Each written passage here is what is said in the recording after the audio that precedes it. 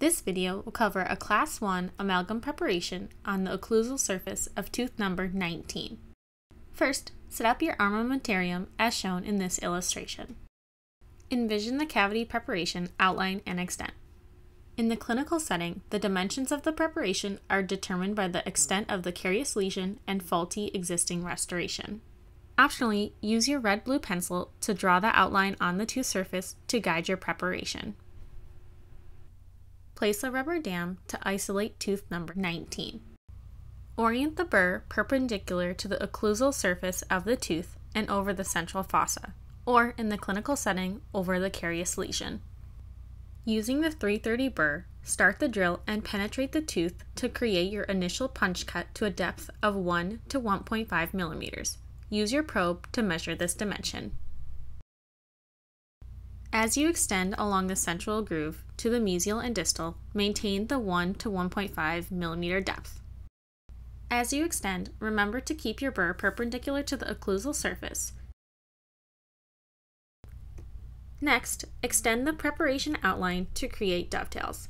By widening portions of the cavity preparation, we increase retention and resistance form. In the area of the mesial and distal pits, Extend the preparation outline buccally to create the dovetails.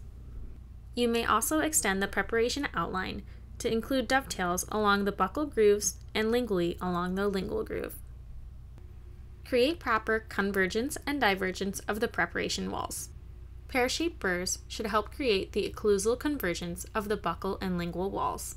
To do so, make sure the pear-shaped burr is oriented perpendicular to the pulpal floor. To create mesial and distal divergence, lean the burr towards the marginal ridge, about 5 degrees tipped, to create this divergence occlusally, and brush upward with light, gentle strokes. Using the probe, check appropriate dimensions of the occlusal outline and evenness of the pulpal floor, which should now be about 1.5 to 2 millimeters in depth. The preparation should also measure at least 1 millimeter in the buccal lingual direction. This ideal preparation should now be extended to remove remaining caries clinically. To check for caries, use the spoon excavator or explorer. To remove remaining caries, use the largest round burr that fits into the preparation with slow speed rotary or the spoon excavator. To smooth the preparation, you can use the hand instruments such as enamel hatchet or enamel hoe or rotary with straight fissure or pear-shaped burrs. Make sure to remove all steps, ledges, and unsupported enamel.